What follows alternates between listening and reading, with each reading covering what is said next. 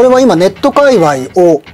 大盛り上がり、大盛り上がり、ネット界隈で、ツイッター界隈で大盛り上がりをしているコミュニティノート。コミュニティノートが日本国内で正式にリリースされた7月6日、令和5年7月6日、やはりツイッター界隈でこちらのツイートが話題を呼んでおりました。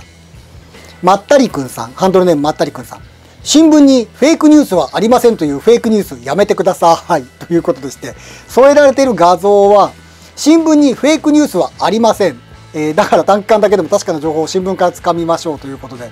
号外。北海道新聞からのご提案。北海道新聞からのご提案としまして、新型コロコロ対策をしましょう。えまだですか？えー、で、熊本ではトイレットペーパーがなくなるという情報で売り切れ。出任せいっぱい SNS。出任せいっぱい SNS ときましたよ。続きまして、信用のできるように見える、信用のできるように見えるメール。え医療関係者からお湯が、お湯を準備するような情報が届き意味のないことを広める。これあの、お言葉ですが、北海道新聞さん、日本語がちょっと怪しいですよ。信用のできるように見えるメール。信用できるように、信用のできるように見えるメール。うん。まあ、そんなこんなでですね、いろいろな情報が多くて本当に知りたいことを知るのが難しいです。新聞は時代遅れ、時代遅れと言われていますが、日々の取材と裏付け作業から信頼性のある情報が載る媒体です。私たちは思います。テレビで目に優し、テレビで目に優しく情報をつかみましょう。ただテレビはえー、連続で同じことを放送するので新聞も合わせて読むことでより正確に情報を知ることができます、えー、だってだってあのこのトイレットペーパーがなくなるというの確かに熊本の方から広がりました。これその時オンタイムで私 SNS で確認しています。ただもうその時点で熊本の方というかまあこれ私九州っていう言い方をしてたんですけれど、まあ、九州の一部の方でそういう噂が出たんですけれど即座に否定されました。この北海道新聞の号外が言うように熊本ではということなんですけれど即座に熊本の他の地域からいやうちあるよと。うちある。その地域だけがないんじゃないのという形でこれ即座に訂正されておりました。さらには実際にお店に行ってほらありますよということ。いやうちんとこなかったよ。あじゃあそこだけないんじゃないのということ。さらにドラッグストアなんかの場合は倉庫がそれほどしっかりと大きいわけじゃない。えというのはこれは比率の話で店頭の在庫と倉庫との比較でいくともうほぼほぼトイレットペーパーだとかティッシュペーパーというこう傘の貼るもの。体積取るもの。これは店頭に置いてる分ぐらいしか在庫がないケースが多いんですよ。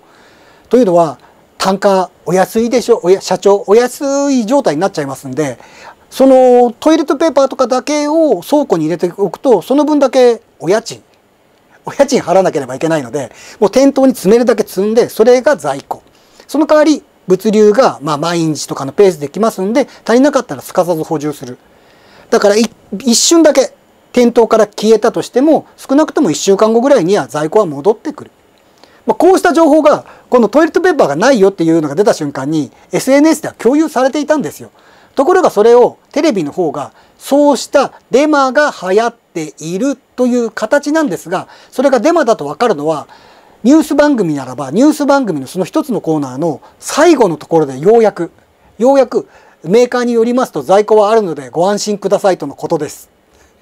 それまでずっと空になった棚を映し出してお店に来たお客さんにもう今ないんですが、あら、やだ、困るとかっていう映像をずっと流し続けて、最後の最後に、あ、在庫あり、あります。在庫、在庫あるんですけどねっていうような感じ。そんな報道をしていた。そして新聞の方もこれ拡散していた。それが、フェイクニュースはありませんというフェイクがをやめてくださいということ。これがまあ、移民軸も7月6日、ツイッターのコミュニティノートが日本での正式リリースになった日に拡散されて、そして共有されていたということ。そんな新聞、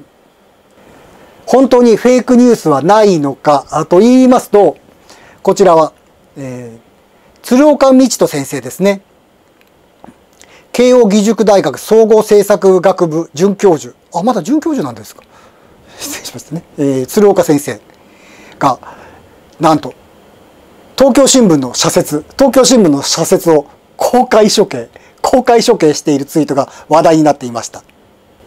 東京新聞のあまりにひどい社説、まともな文がほとんどない、政治的立場や解釈については種々あり得ても、えー、新聞であれば少なくとも事実関係は踏まえてほしい。そうでないと噛み合った議論にならず残念。えということで、これですね、正直小学校で勉強をやめてしまったこの私でも、これは、これはないよねっていうようなところ、いくつか拾い出して紹介しようと思います。例えば、集団的自衛権を発動することができるとしている。これは、米欧の軍事同盟 NATO は、加盟国への攻撃を全加盟国への攻撃とみなし、集団的自衛権を発動することができるとしている。これについて、義務。義務。発動できるできないじゃなくて、NATO という軍事同盟に入っている国が攻められた瞬間に、それはもう集団的自衛権発動する義務がある。義務がある。さらに、ロシアと戦闘中のウクライナの加盟を認めると、NATO も戦闘に巻き、戦争に巻き込まれる恐れがある。踏みとどまったのは妥当な判断だ。えー、というので、ウクライナの方を、ウクライナを NATO に入れなかった。それを踏みとどまったのは妥当な判断だと。東京新聞の社説が上から目線で、あだかね、社説らしきもの、作文書いてるんですけれど、これについては、戦争中に入れる可能性は最初からゼロ。もうまさに完全論破。鶴岡先生、戦争中に入れる可能性は、えー、最初から、当初からゼロ。ゼロということ。そんな、紛争当事国を同盟に入れるということは、それすなわち、もう相手国と交戦しますよということはい、これ。ここの前の義務にかかってきます。義務にかかってきます。同盟国に対して攻撃をされた時に、すかさずそれは集団的自衛権が発動するという仕組みになっているんであれば、ドンパチというか揉めている国、揉めている国を NATO に入れた瞬間に、はい、やりますか。はい、やりますかということになる。よって、実際その揉め事が起こってるっていうのも、今回のロシアによるウクライナの侵略のような、圧倒的に完全無欠にロシアが悪い。まあ、こうしたことというのは、まあ歴史を振り返って、そう多くはないんですね。あ、すいませんね。小学校で勉強をやめた私ですけど、歴史は多少興味がありましてですね、好きで、趣味で、趣味で歴史なんかの本をね、チラチラチラっとめくったりとかしてるんですけれど、まあ、そのレベルで言っても、何がきっかけで、あるいはその紛争というものが、どちらが悪いのか、その始まりの時、そして終わりの時、よくわからないまんま進んでいくケースもある。簡単な町場の話にしますと、お隣さん同士で揉め事が起こりました。この時にどちらが原因なのか、どちらが理由なのか、例えば、枯葉一枚がうちの家に入ってきた。あるいはお隣の木がうちの庭に入ってきた。そんな些細なことでいがみ合っているのにどちら側かの肩を持つんですか？肩を持つんですか？あるいは明らかに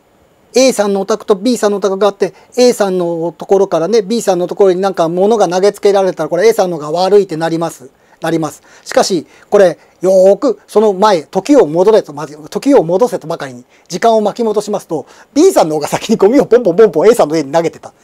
俺は気づかなかったわ。ポンポンポンポン投げちゃった。それで A さんが、冗談じゃないよって投げ返した。その投げ返したシーンだけを見たときに A さんが悪いってなりますけど、その前に遡っていったときに、それはどちらがいや、最初に投げ入れた B さんの方が悪いんですけれど、まあそうなってしまう。かように揉め事というのはその揉めてる最中というものはわからない。なので、入れない。そんなの当たり前のところ、東京新聞の社説は、踏みとどまったのは妥当な判断だと上から目線で、えー、社会を、世界を叱りつけている。さらにですね、ロシアの侵攻後、NATO は自らを民主主義陣営、ロシアや中国を権威主義陣営と色分けして対立構造を際立たせている。あれ？あれ？続けます。えー、NATO 加盟国をはじめ、NATO 加盟国はウクライナに戦車などの武器を次々と供与し、戦闘は激化する一方だ。はい。えっと、対立構造を際立たせていると東京新聞の社説はおっしゃいます。ただ、これ先ほど私説明しましたように、ロシアによるウクライナの侵略ほど、これほど完全無欠のもう明らかに圧倒的にロシアが悪い。まあ、こうした事例は歴史振り返ってもそうはない。そうはないということは、これ対立構造うんぬんじゃなくて、ロシアが悪いということ。えそして、戦闘は激化する一方だと結びでいるんですが、武器供与しなければ平和だったということ。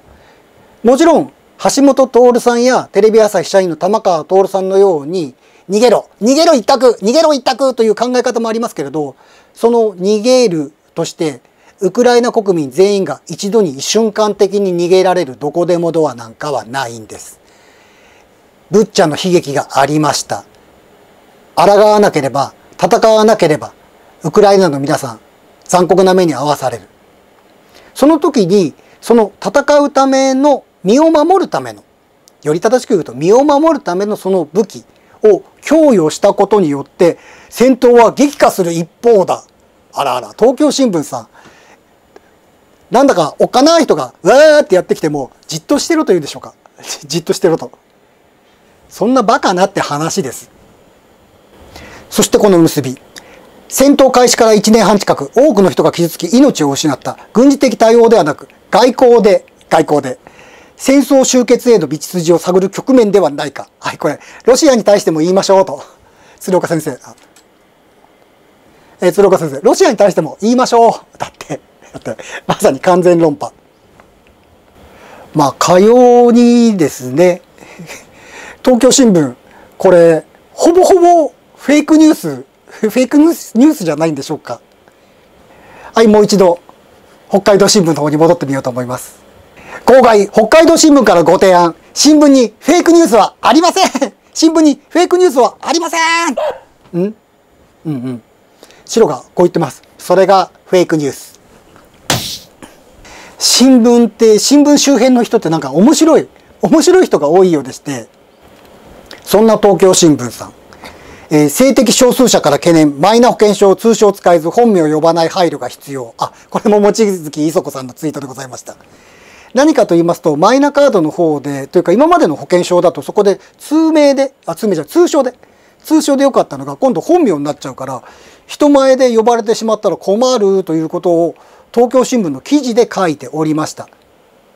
で、何かと言いますと、まあ、いわゆる女性の名前を名乗っている男性、それが通称が出なくなるんで困る。なんですけど、これちゃんと記事を読みますと、えー、通称の使用を申し出ている場合は、ピッてやったその端末のところに通称名出るそうです。出るそう。だからあとはもう運用の話で、今までの紙の保険証だから出ないだとか、あそこには書いてあったからとかっていうことなんですけど今度はそのピッてやれば出てきますんで何が問題なんですかというところ。で初診の際は患者に呼び名の希望を聞きカルテの目立つところに注意書きをして呼び間違いを防いでいる。プライバシーに配慮し個人名ではなく受付番号で呼ぶところもある。まあ、これ確かに今受付番号で呼ぶところのが多いのかなとまあ私ね病院行かないんでね病院行かないんでピンとこないんですけれどまあそんな感じじゃないですか。ただですね、私この記事の中で気になったところが、東京新聞のこちらの記事の中で気になったところは、通称が医療機関側に表示されることを知り、少し安心したと市田さん。まあ、この相談してる方ですかね。ただ、健康保険証は医療機関以外でも通称による身分証明書として使うことが多いため、あれ？えー、健康保険証は健医療機関以外でも通称による身分証明書として使うことが多いため、マイナ保険証への一本化で今の保険証がなくなると大変困るという、あれ？あの、通称を、まあ、一般的に使っていいんですけれど、身分証明として通証名それダメなんじゃないですか？で、さらに言いますと、マイナ保険証、いや、マイナカードというのは、国民にそれぞれ振り振り分けられているマイナンバーで処理します。マイナンバーで。名前というのはむしろ便宜的な話。だから身分証明としてはそのマイナンバーがあれば十分で、その通称云々というのはいかがなものなんでしょうか。あというか、そこまでのフォローアップをしていない記事になってるんです。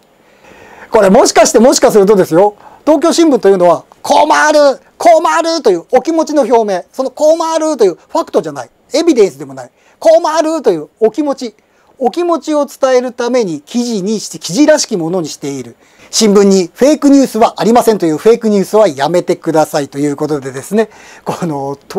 東京新聞、北海道新聞、まあ、朝日新聞も毎日新聞も入れておきましょうか。フェイクニュースを垂れ流す、そんなところに軽減税率いるんでしょうか？やっぱりこの軽減税率と、あ、これも忘れちゃならない。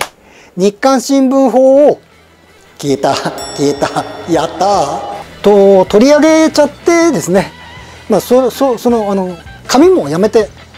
壁新聞ぐらいで壁新聞ぐらいで頑張ってくれるんだったらそっとじそっとしてあげてもいいかななんて考える今日この頃でございます。